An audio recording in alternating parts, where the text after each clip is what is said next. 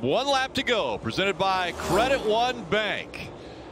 William Byron, a little under 2.4 miles away from his first road course win as he makes his way through one and headed toward you, Baggy, in the S's. A career year already for William Byron as he comes up on the checkered flag and getting his first road course win. William Byron is going to win at the Glen.